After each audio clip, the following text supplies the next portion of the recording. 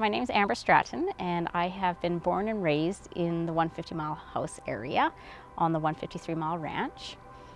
I am the third generation of the Paternaudes and I was lucky enough to grow up on the Gold Rush Trail. It was really neat because we had the original store that was the 153 Mile store that's still standing today and still has all the stuff in it. Growing up as a child on the ranch, we were always working and haying and doing all that, but on the off time, my nan would do tours of the store. And we got to dress up into in the old clothing from the store.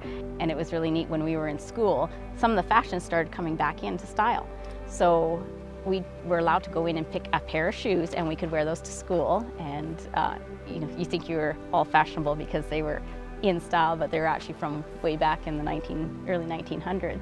I lived right next door to my nanny and papa, and my bedroom window was looking into my nanny's kitchen. So every morning I'd open up my blind and wave to my nanny, good morning, through the window, and uh, and it was a real family connection there. It was, it was really neat to, to have that generational connection all the way around growing up my boys were always very interested in the store and wanted to go play in the store and it was, you know, the store is old, there's lots of antiques in it and I had to be careful but I got the chance one time to dress them up and they got to help with some of the tours and we had the Tribune come out and the boys got their picture taken on and put on the front page of the paper, which was really neat for them because it's almost like a full circle that we were able to come to.